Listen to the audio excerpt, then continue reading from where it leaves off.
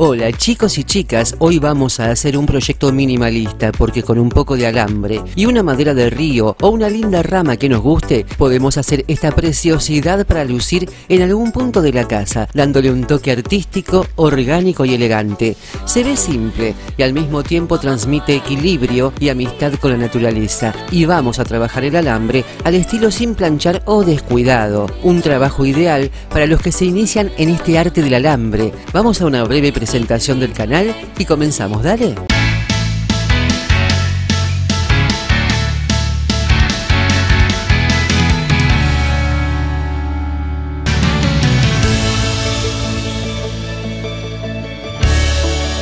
Bien, comenzamos. Necesitamos un alambre tipo calibre 22 o 21 galvanizado. Es importante que sea galvanizado porque este trabajo tiene muchas vueltas y si no sabes manejarte bien con el alambre de aluminio se parte muy fácilmente. En cambio este alambre no. Estas pinzas, esta por ejemplo es de electricista de corte, puede ser una más pequeña. Pinzas de agarre básicamente. Lo importante es que las pinzas puedan cortar el alambre porque iremos utilizando trozos. Y con respecto al alambre utilizaremos tramos largos, por lo tanto hay que tener cuidado de que el alambre no se enganche, mucho cuidado con los ojos porque a veces el alambre se engancha, salta y te podés pinchar. Por eso esos son los cuidados básicos que hay que tener. La mesa bien despejada porque el alambre se engancha por todos lados. Tenés un florero, sacalo. Saca todo lo que tengas a mano.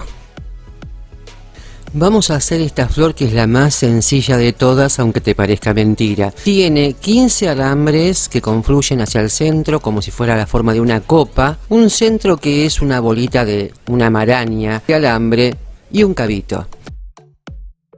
Aquí tengo alambre galvanizado 22, tomé una medida de 20 centímetros como mucho para que me sobre porque saben que improviso mucho cuando trabajo. Esta es la más chiquita de las tres flores, la que va en el medio. El tamaño total, el alto total de esta flor tiene como mucho y ya colocada 14 centímetros y un centímetro más para que encaje dentro de la madera donde la vamos a colocar. Por lo tanto, si tengo 14 centímetros, 7 centímetros o 6 van a ser el cabito y todo el resto van a ser las ramitas.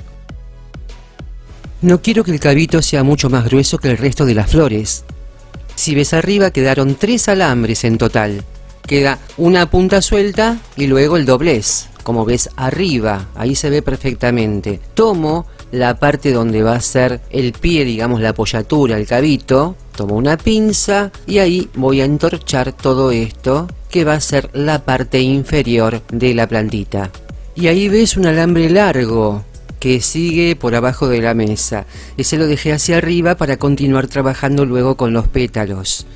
Y con esto que había doblado me quedan cuatro. Y un cabito suelto, ahí lo ves, ¿eh? una puntita suelta. En total son 5 entonces, porque esos dos que están doblados luego los voy a cortar.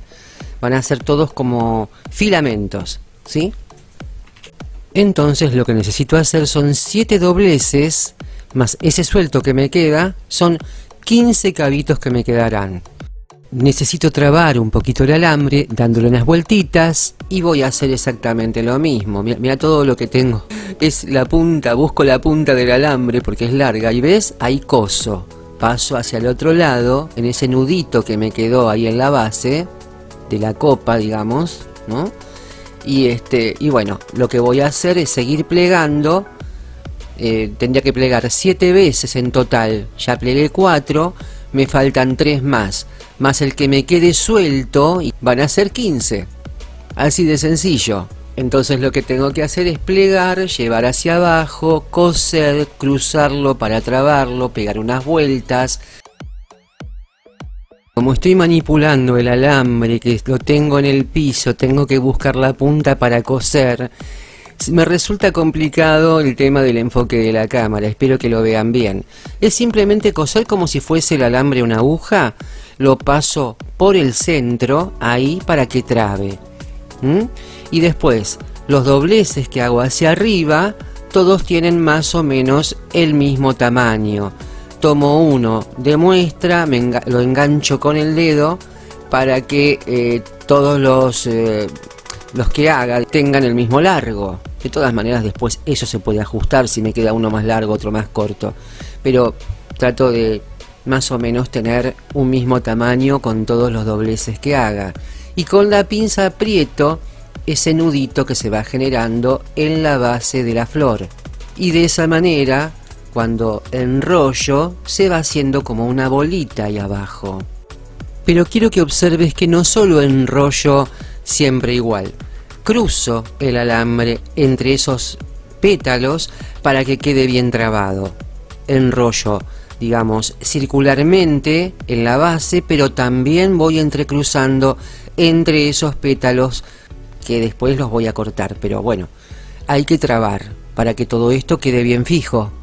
Aparte necesito que me quede como una bolita en la base y a medida que voy entrecruzando hacia un lado, hacia el otro, girando, voy formando esa bolita que queda muy bonita también. Le queda un aspecto como si fuese, vamos a llamarlo, un nido, algo así.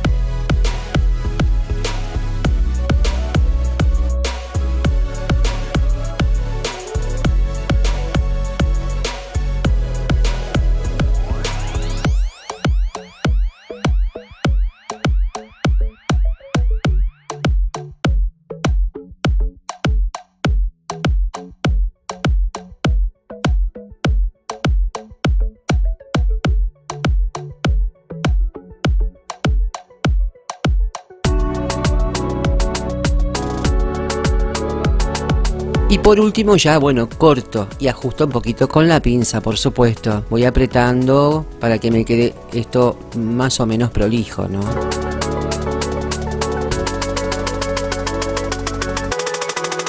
Ya tengo los siete petalitos bien trabaditos, los corto en la punta con una pinza. Más el otro, que me había quedado suelto, son en total 15.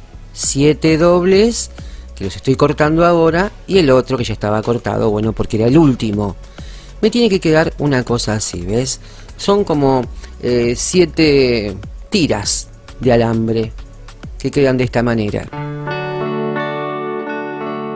Siguiente paso, lo que ves, empiezo a separarlos y le voy a dar como la forma de una copa, así acariciando el alambre en forma, darle forma oblicua, como si fuera una copa redonda, algo así.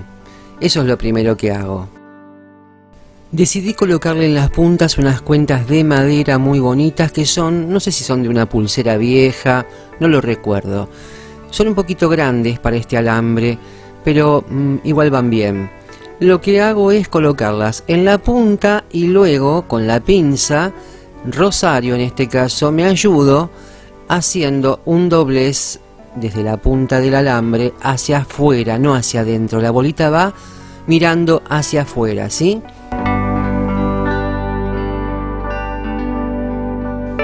Y así voy a hacer con todas las puntas. Voy a colocar una de estas cuentas doblándola hacia afuera. Luego vamos a acomodar. Entonces, esto es hacer simplemente así con la pinza rosario y nada más. No necesitamos que sea una argollita súper perfecta porque repito, el trabajo no tiene esa estética. El tema es que no se nos caiga la bolita porque estas bolitas tienen el agujerito muy grande. Entonces bueno, después las voy acomodando. En principio que queden ahí. Eh, poder trabar el alambre de esta manera y luego le vamos a dar forma a esta florcita.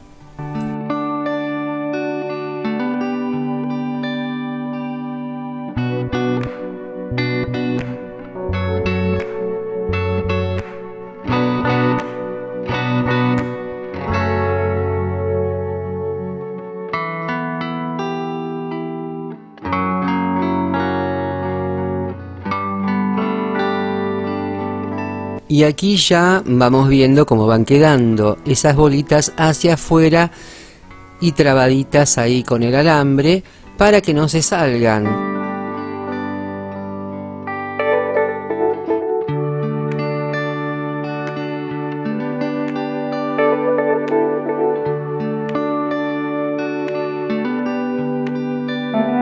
Y ahora lo que tengo que hacer es darle un poquitito de forma a esta flor.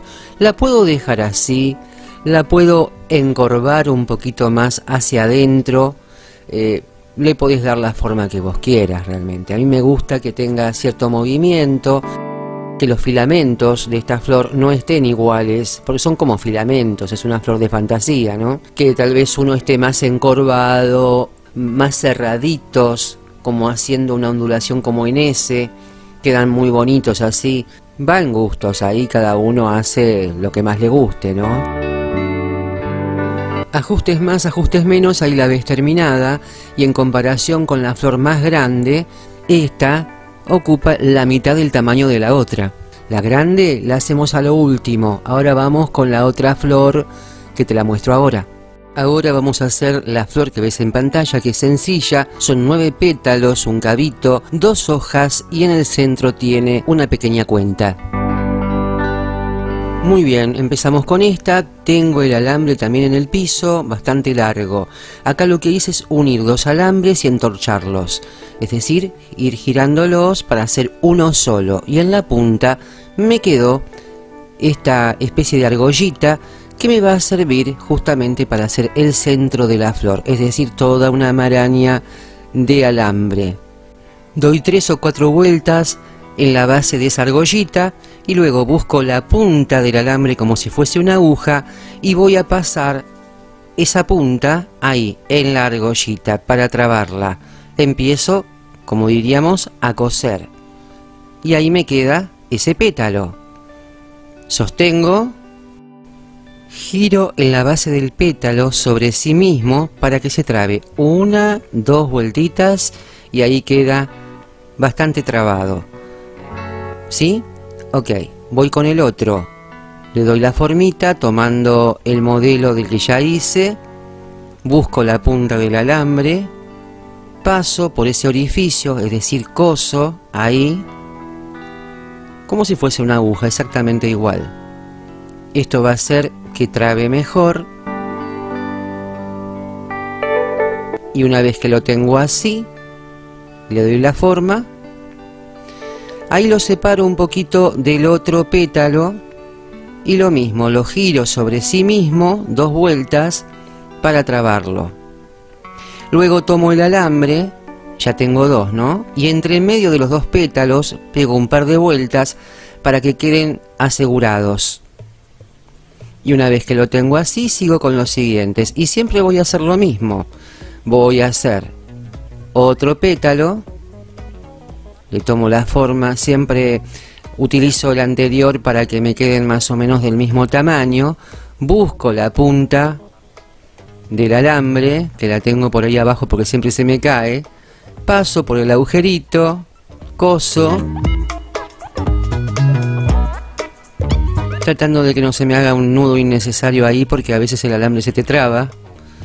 Y cuando ya tengo la forma, sostengo con la otra mano, lo separo un poquito, giro sobre sí mismo a ese pétalo y así. Me ayudo cada tanto con la pinza para mm, que esto, digamos, para que la parte del centro no me quede mal, para que quede compacta, ¿sí? Y así vuelvo a hacer otro enlazar.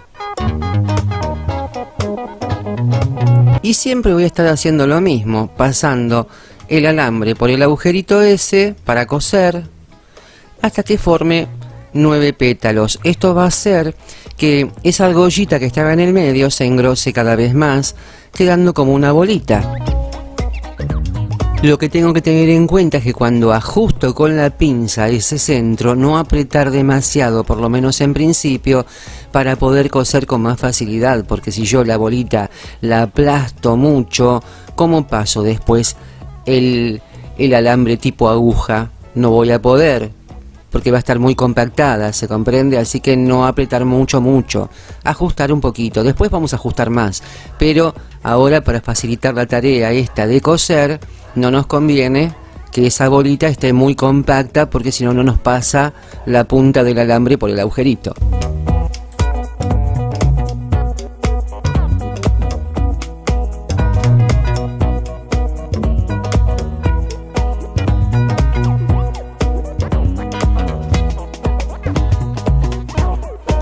Llegado a este punto, cuando tengo ya los cuatro pétalos colocados, tomo una cuenta de madera, puede ser la que quieras, cristalina, de madera, la que más te guste, la paso por el alambre largo y la voy a fijar en el centro. Y la voy a asegurar dos veces, es decir, le voy a pasar el alambre dos veces porque esta cuenta tiene un agujerito bastante grande. Entonces, paso por ahí, vuelvo a buscar la punta del alambre y lo vuelvo a pasar. Y ahí me queda bien cosida esa, esa cuenta, ¿sí? Y una vez que la tengo ya cosida, que le pasé el alambre dos veces, tomo una pinza, bueno, la aseguro que quede derechita como a mí me gusta. Y una vez que la tengo acomodada, tomo el alambre de nuevo, tomo la punta de ese alambre y lo vuelvo a pasar, pero no sobre la, la cuenta, sino por debajo de ella, donde está la maraña, esa bolita que se está formando de alambre, por allí lo paso y sigo haciendo los pétalos que me faltan. Explicado esto, pongo un poquito más rápido para completar los nueve pétalos porque ya lo básico está explicado y se repite siempre lo mismo.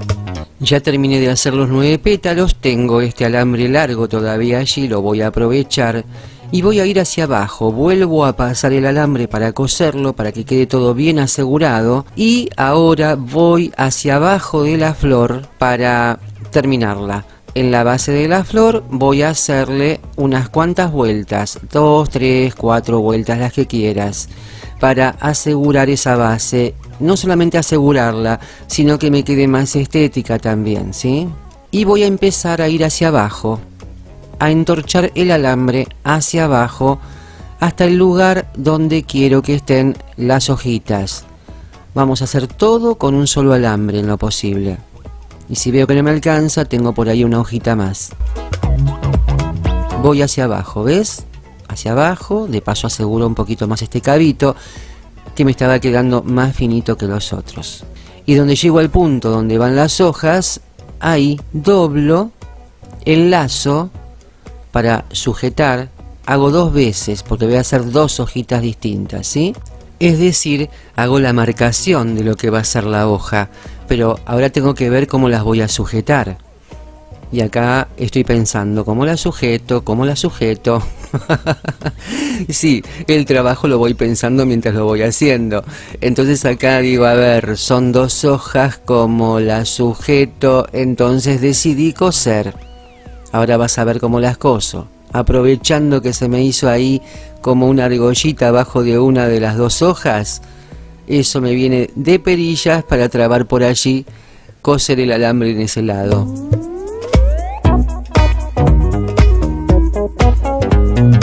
Bueno, te comento que hay mil formas de hacer las hojas. Esta es una de ellas que surgió en el momento. Surgió así porque yo es como que lo escucho al alambre. El alambre me habla a mí, me dice, doblame acá.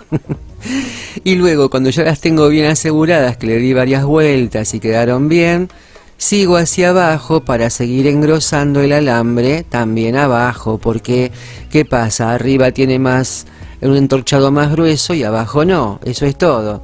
Y a la punta de las hojas las aplasto con la pinza, así como ves, y la llevo una hacia un lado y otra hacia el otro lado. Es facilísima esta flor, la verdad, y queda bastante sencilla y bonita. Me gusta este estilo así, alambre descuidado o no planchado. Tiene su gracia. Y acá como ves también y ya prácticamente con esto terminamos esta florcita y vos estás mirando la otra. Yo sé que estás mirando la más grande. Ahora vamos a hacer la más grande que es un poquito más complicadita porque tiene más capas. Vamos a Helio, vamos a Helio, te muestro cómo la hice. Acá te muestro un tronquito, tengo varios, luego voy a elegir cuál, pero te muestro, puede ser este, luego vas a ver otros. Después me decidí por otra madera porque necesitamos un tronquito o una madera para luego colocar las flores. Bueno, el alambre es muy fácil, dos alambritos de 30 centímetros, así como ves, y los empiezo a entorchar, a girar y a girar para que se me haga uno solo, porque de esta manera va a ser mucho más fuerte, más resistente. Uno solo es demasiado fino para sostener toda la estructura. Me ayudo con una pinza y voy haciendo esto, estos giros, hasta lograr que todo el alambre quede así entorchado. Cuando termine de girar, una punta me va a quedar con una especie de argollita. Esa va a ser la parte superior de la flor. Y la parte de abajo, simplemente el alambre en punta, ¿sí? Y tengo la maderita para probar a ver el, el, alto, más que nada la altura. Quiero estar viendo la altura que va a tener esta flor. Si me parece muy larga, voy a recortar un poquito este alambre. Me tiene que quedar más o menos un centímetro de alambre que me sobre porque eso es lo que va a ir dentro de la madera cuando coloque la flor.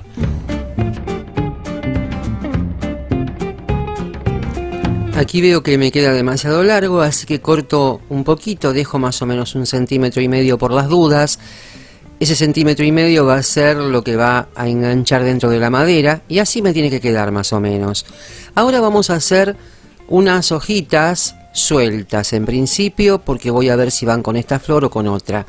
Pero te muestro cómo es. Doblo así el alambre, como ves, lo torsiono para que quede fijo. Ahí hago otra torsión. Esta me queda un poquito más chiquita.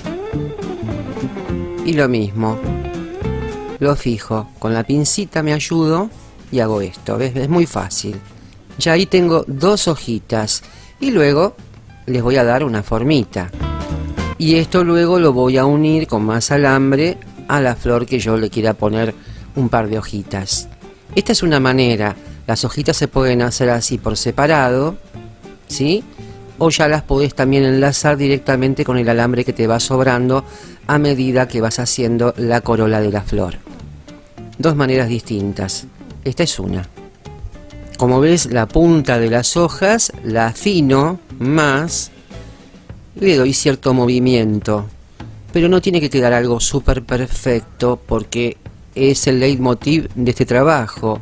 Es un alambrismo, como podríamos decir, descuidado. Y eso es lo que le da gracia a este tipo de trabajo.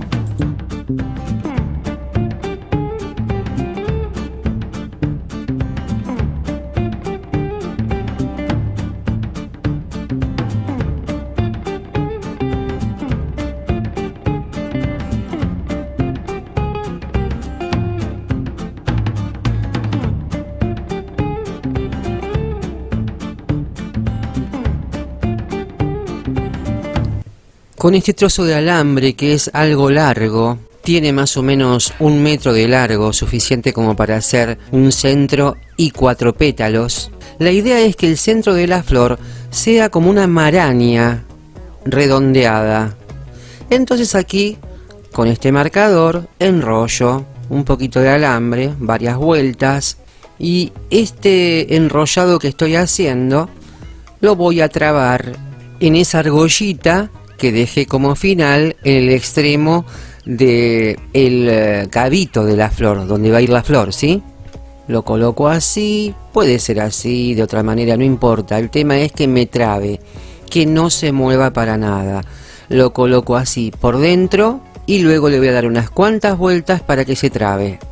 La idea de esta cantidad de vueltas que le di al alambre con el marcador, que me quedó bastante grueso, es para crear un centro, algo que me dé volumen para luego seguir girando sobre él y que se ensanche un poquito más. Para no tener que estar cosiendo tanto, ¿sí? Ya tengo algo que me da un poquitito más de, de espesor. Y acá lo que hago es coser, como si estuviese cosiendo con una aguja, exactamente igual. Lo que voy a hacer es trabar eh, esto a la punta de lo que es el cabito de la flor. Y me queda algo así, ¿ves? Trabadito. Y cada tanto me ayudo con alguna herramienta, con la pinza, para apretar. Y acá giro, ¿ves? Empiezo a girar y a girar. Y eso me da todavía más volumen. Que es como se ve la flor. Viste que tiene la parte central que eh, parece como si fuera una bolita y la voy apretando así un poquito con la pinza, lo que me permitan los dedos también. Y una vez que logré cierto volumen, ahí ya voy a empezar a coserlo para que quede trabado. Siempre trabamos, siempre que coser, es decir, pasar el alambre como si fuese una aguja de un lado hacia el otro para trabar el alambre. Y una vez que tengo esto bien asegurado, ya ahí voy a poder trabajar haciendo pétalos.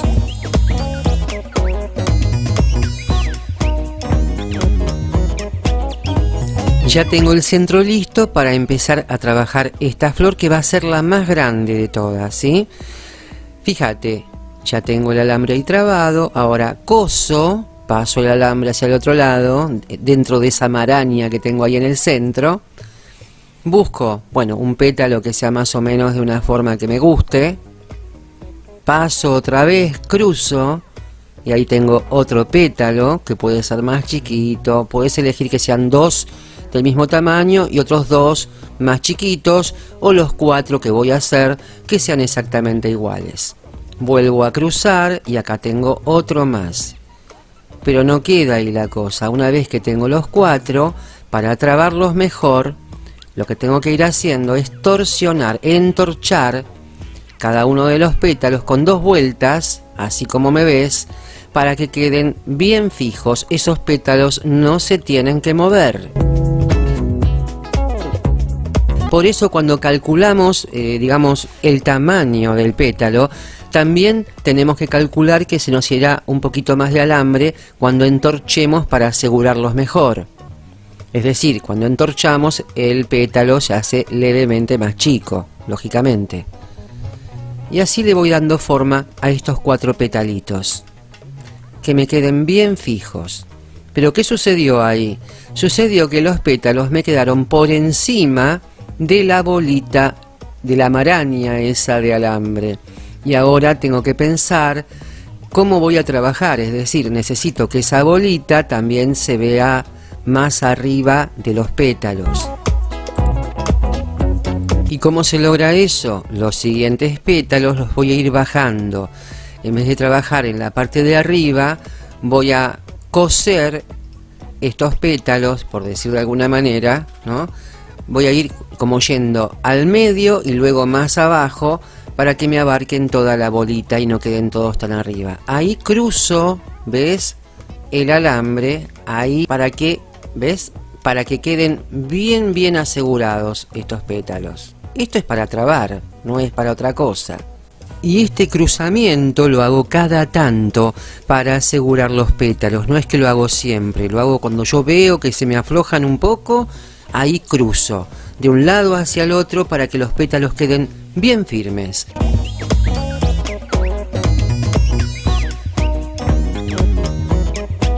Ya hicimos la primera tanda de cuatro pétalos, ahora vamos con la segunda, un poquito más grandes. El tamaño lo elegís vos. Acá estoy haciendo uno un poco más grande. Siempre el centro es un poco más chico. Luego hago este, ves que le doy dos o tres vueltas para que se trabe. Pero todavía no estoy cosiendo, estoy haciendo nada más que torsiones. Me queda el alambre ahí.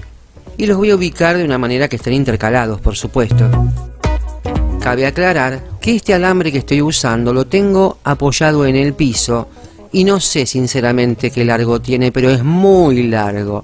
Es decir, que cada vez que tenga que coser voy a tener que buscar la punta y como es bastante engorroso eso, bueno, con estos pétalos que estoy haciendo ahora, lo que hago en lugar de buscar la punta, ir hasta el piso, encontrarla, cruzarla para coser, directamente armo.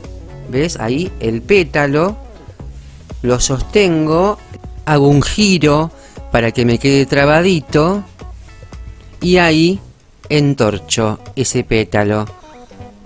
Dos vueltitas o tres y ahí va a quedar bastante fijo. Le busco el sentido al pétalo, ¿sí? Ahí, ahí queda, ¿ves? Pero todavía no estoy cosiendo, atención. Estoy simplemente haciendo giros y trabando como pueda sin tomar la punta, que el alambre es bastante largo.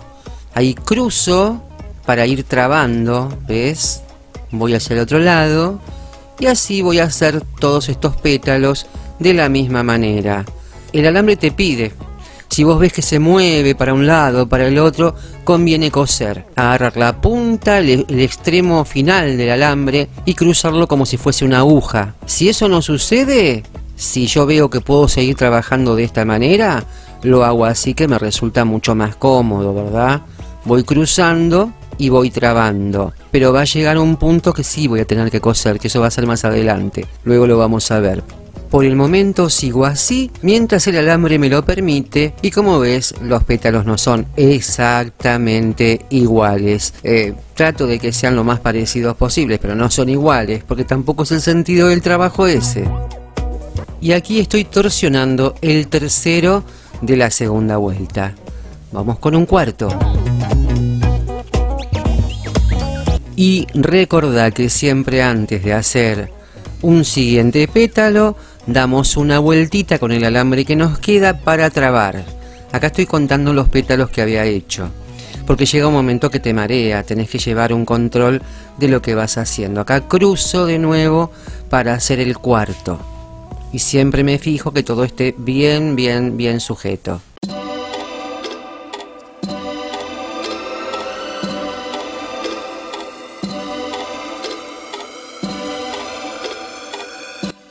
Y me quedan 5 pétalos en esta segunda vuelta. Ahora vamos a lo que sigue. Ahí detuve cámara y quiero que veas cómo quedó. ¿Ves donde apunta la flechita? El centro. Ese centro, esa bolita, me quedó abajo. Necesito que la bolita me quede más al centro. Entonces, las siguientes vueltas las voy a enganchar más abajo de la bolita para que esto se me vaya centrando un poquito mejor, ¿sí? Y luego vamos a acomodar todo eso. Bien, el alambre ahora sí es largo, largo, largo, largo, largo. Busco la punta, voy al piso, ahí la tengo. ¿eh? Busco algún lugar donde pueda pasar para coser. Primero coso, para que me quede bien trabadito todo esto, ¿sí? Y ahora sí, sigo con los pétalos. Ahora voy más abajo haciendo una tercera vuelta de pétalos, un poco más grandes por supuesto. Y esta vez lo voy a hacer de manera distinta. La traba de los eh, petalitos, digamos, el entorchado hay que hacerlo siempre, pero voy a coser además voy a buscar la punta del alambre y cada vez que termine de hacer un pétalo voy a cruzarlo. ¿Por qué? Porque eso me va a engrosar más esa bolita que está en el centro y va a quedar mucho más bonita. Porque si no hubiese decidido hacerlo como hice antes, es decir, ir cruzando de lado a lado sin llegar a la punta, como para ir trabando. Pero claro, el cruzado te queda arriba, no te queda abajo. Y vas engrosando arriba y no abajo. En cambio así, cuando yo eh, cruzo, como ahora estoy haciendo, el alambre y voy cosiendo, al mismo tiempo también voy engrosando esa bolita que está en el centro y va a quedar el trabajo mucho más vistoso así, mucho mejor. Por eso lo hago de esta manera en las dos últimas capas de pétalos. En la última o en las dos últimas. Cuestión que esa bolita tiene que quedar voluminosa. Y en cuanto a la cantidad de pétalos, bueno, depende. Yo acá hice 4, después hice 5, después perdí la cuenta, te soy sincera. En total son unos 21 pétalos más o menos. Después cuando vi el trabajo terminado me di cuenta que 18 hubiese sido ideal. Pero ya tenés que ir calculando. 4, aumentas a 5, aumentas a 6 y después ponele a 8. Tampoco tiene que quedar una flor muy, digamos, exuberante, porque este es un trabajo, si te fijaste, minimalista no es muy sobrecargado. Y aquí me ves que estoy plegando, o sea, cerrando los pétalos para llevar un mejor control de lo que estoy haciendo, porque si no llega un momento que perdés la cuenta. Si lo cerrás, esto es lo bueno de este alambre, como es un alambre que no se quiebra, no se rompe, puedo cerrar los pétalos y dejar abiertos eh, los de la hilera que estoy haciendo. Así me guío mejor, si no llega un momento que realmente marea tanta cantidad de vueltas y de pétalos que se entremezclan. Después, por supuesto, que todo se vuelve a acomodar.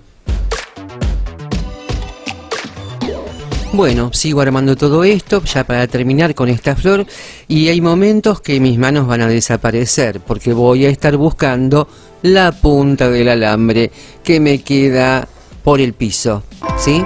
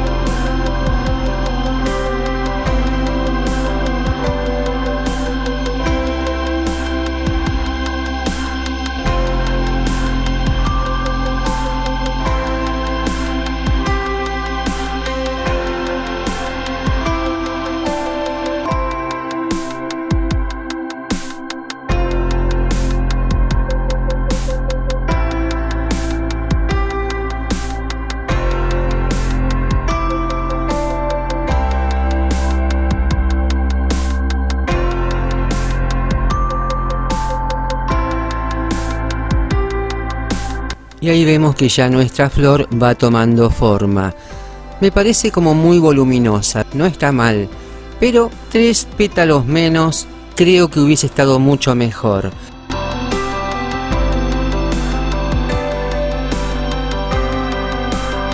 La flor ya está, solamente resta acomodar los pétalos, pero te quiero mostrar esto, ¿ves? Me sobra alambre y voy hacia abajo, voy a entorchar hacia abajo hasta más o menos que me quede ese entorchado a tres cuartos del cadito de la flor.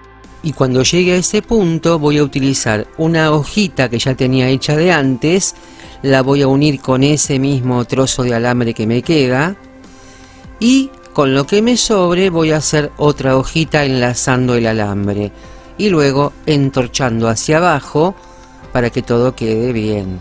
Y bueno, tratos, por supuesto, después de emprolijar todo el alambre para que no me quede como más grueso abajo y más fino arriba, sino que todo el conjunto quede armonioso. Sección titulada Cómo convertir una simple madera en una madera con corteza que tenga más riqueza visual. ¿Lo vemos? Dale.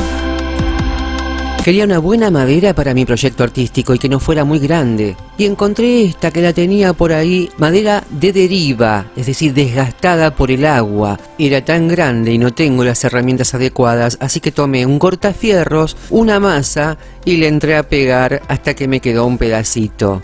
Y acá tengo este tronquito que es de mi morera, que no me sirve para el proyecto porque es muy chiquito, pero tiene cortezas. Lo que estoy haciendo es delicadamente con un cuchillito quitarle todas las cortezas que pueda a este, esta especie de ramita de mi morera y se las voy a colocar a la otra madera y la voy a enriquecer visualmente porque me gustaría más que tuviese corteza. Bueno, en principio quitamos toda la corteza posible y tratamos de limpiarla. Esta ramita, aparte que es más chica, está bastante deteriorada ¿Y por qué hago esto y te lo muestro? Porque quiero que veas que la imaginación no tiene límites. Me propuse de que esa madera de deriva que tengo allí más arriba tenga corteza y se la voy a colocar. Te cuento que me resultó bastante fácil quitarlos porque estaban muy flojos.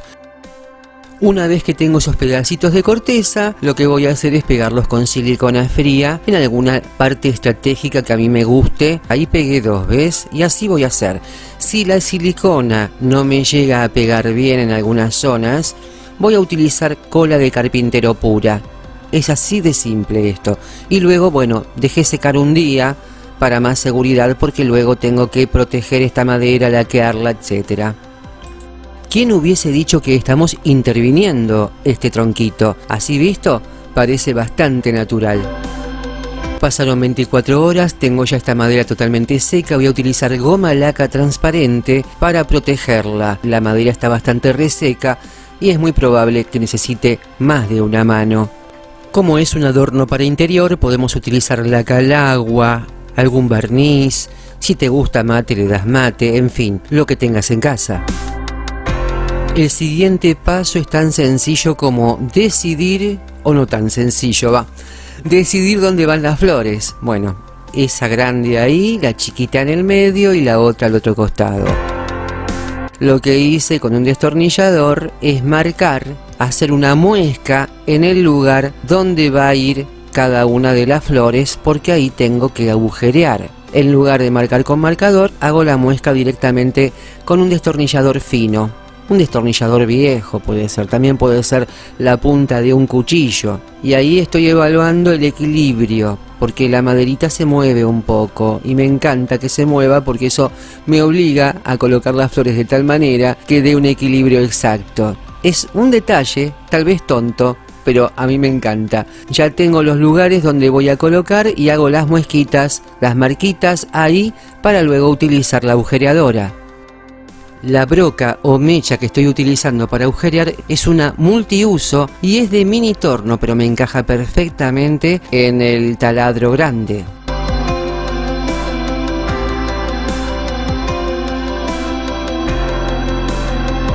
La profundidad de los orificios que hice son de un centímetro para que la flor quede perfecta. Coloco pegamento universal y ahí ya la flor va a quedar porque entra apretadita. Hay que esperar que seque, supongamos una hora está más que bien y creo que es demasiado porque seca bastante rápido esto y ya tendríamos el trabajo terminado. Precioso.